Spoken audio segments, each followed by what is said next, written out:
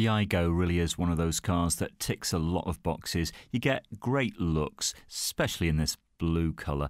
Uh, and these cars are engaging to drive. They're in a very low insurance group, I think even Group 1, so you can't get much lower than that. And your running costs are very, very keen. This comes from 2010 and it's covered about 26,000 miles, which is well below what you might expect for its year.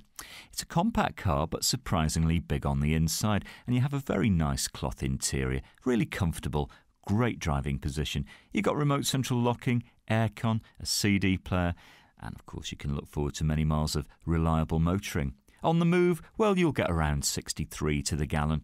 12 months tax is £20. If you have an old car that you'd like to part exchange, or if you need finance, no problem. Come on down, we can sort all that for you. How about a test drive? Ring and reserve with no obligation at Fords of Winsford.